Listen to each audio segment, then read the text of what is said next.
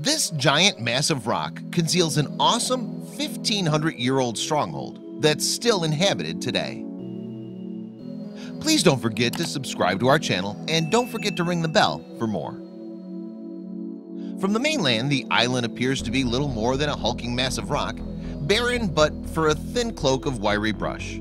However, hidden from view on its seaward side and beyond a mysterious spiked door in a fortified wall is an L-shaped tunnel that leads to an ancient town. Once called a ship of stone by the popular Greek poet Yannis Ritsos, the island is located in the Aegean Sea off the southeast coast of the Peloponnese, a large four-fingered peninsula in southern Greece.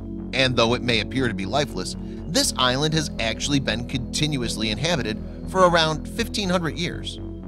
Formerly part of the mainland, the island was forged by an earthquake in 375 AD. With a rocky tabletop plateau at its peak, its sheer walls climb to a height of around 330 feet, offering a commanding vantage point. Its width is just under a thousand feet wide, while its length is around 3,300 feet. But despite its diminutive proportions, the seemingly desolate isle once supported a 40,000-strong population. Its hidden town cascades down its slopes with sand-colored structures that blend almost imperceptibly into the rock. Moreover, centuries of shifting imperial influence are reflected in their architecture. Today, the island is home to just 12 permanent residents. By contrast, the modern village of Gefyra on the mainland, which is connected to the island by a causeway built in 1971, is a growing tourism hub. Year by year, too, this little island off the Peloponnese is gaining international acclaim. Sometimes known as the Gibraltar of the East, the island is believed to have been settled in 583 by refugees fleeing Slavic and Avaric marauders. Its name is Manum which means single entrance. In the past, thanks to its unique defensive properties, it could only be accessed by a drawbridge or by wading through water.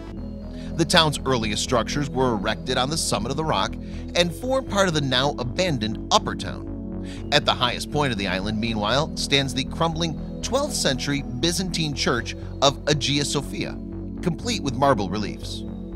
Over the centuries, the town expanded down the hillside to nestle in an enclave by the water. Starting in the 10th century, Monemvasia successfully evolved into a major city and prized Byzantine trade hub, its port receiving ships from Constantinople and other thriving medieval cities. This was, arguably, the town's golden age. For centuries, Monemvasia thrived under Byzantine rule. Indeed, the town was so well defended that it did not crumble under Arab and Norman invasion attempts in 1147. However, in the end, it could not resist the forces of history.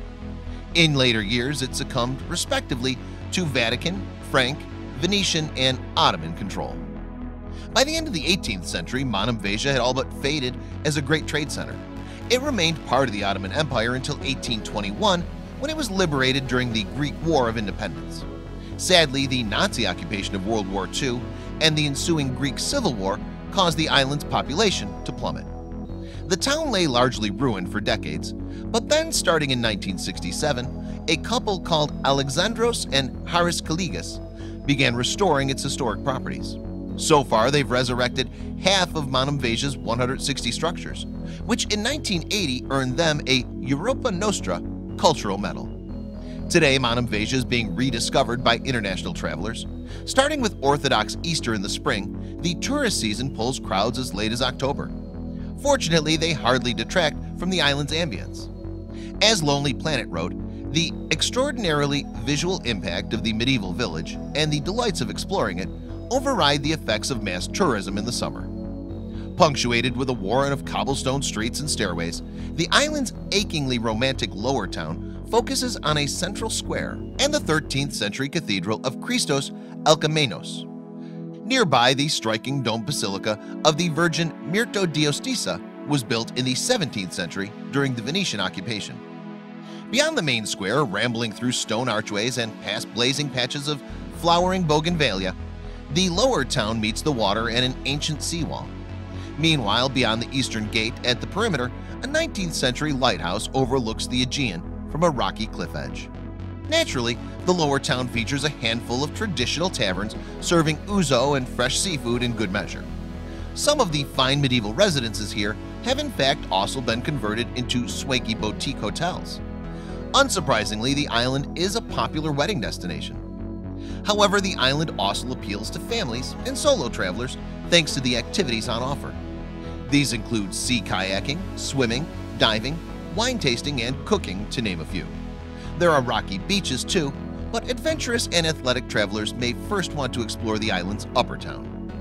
Its ruins are reached from the main square via a path that leads to the summit of the island. Once upon a time, some 500 mansions overlooked the sea from this clifftop perch, a former enclave for the town's wealthy aristocrats. Today, however, little remains of the upper town. Still, the views are immense, and with enough imagination, you can almost see the merchant ships anchored offshore, sails illuminated by the setting sun. Having witnessed centuries of drama and change, Monemvasia claims an almost mythical grandeur. And as its reputation spreads, this tiny rock of an island is sure to see many more travelers. Fortunately, its development so far has been sensitive to its historical integrity, and there's no sign of that changing. With any luck, Monemvasia will still be intact and inhabited 1500 years from now. We can't change Monemvasia, it would ruin everything. 93-year-old Matula Ritsos told the New York Times. We weren't supposed to last here, in isolation and cut into a cliff of rock. But here we are, hundreds of years later, here we still are.